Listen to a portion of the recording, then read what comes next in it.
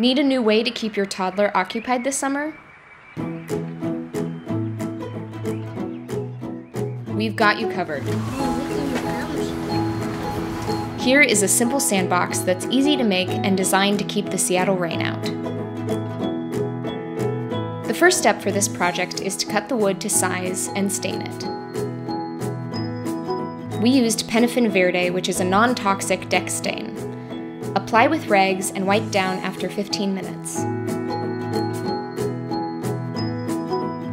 Assemble the 2x10 frame of the sandbox with the shorter boards lined up inside of the longer boards. Pre-drill and secure with screws. Move the sandbox into a leveled spot in your yard.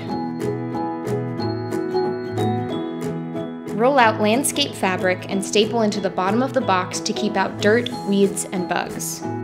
To keep water out of your sandbox, cut a tarp to size and staple to the bottom of a piece of lattice. With screws, attach an asymmetrical frame around the edges. This will help the water run off the top instead of pooling. Now grab some extra hands and carry in the sand.